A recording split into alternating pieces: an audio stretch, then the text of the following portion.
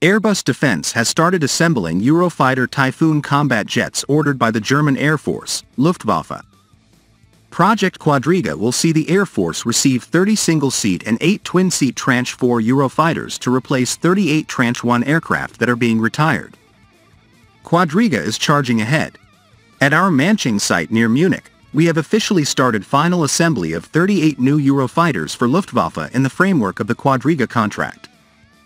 Airbus will deliver 30 single-seaters and 8 twin-seaters by 2030, the company confirmed in a recent tweet. The contract for Eurofighters was signed in November 2020. These new build aircraft will be equipped with the E-Scan European Common Radar System, ECRS, and updated software. Germany's Defense Procurement Office, Bonn BW, recently selected Saab's Arexis sensor suite as the preferred solution for the German Eurofighter electronic warfare EW, variant.